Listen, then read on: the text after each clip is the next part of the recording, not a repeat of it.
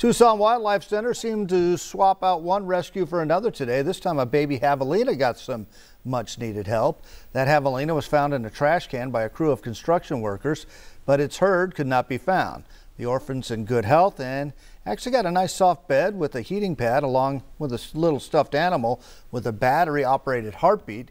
If the orphan's herd can be found, he'll be returned with them or hopefully be introduced into a new herd. Uh, for some reason, uh, these folks had been burying their trash can in the ground, so it was at ground level, and that's unusual. It's like a trap. So it, literally, this little guy fell in there, and he wasn't a week old yet, uh, and he couldn't get out. His parents couldn't get him out. They tried, apparently. So uh, by the time the, the construction workers in the area called us in, he'd been in there for a while. Now, the javelina isn't quite 100% healthy, but is making a nice recovery so far. Crews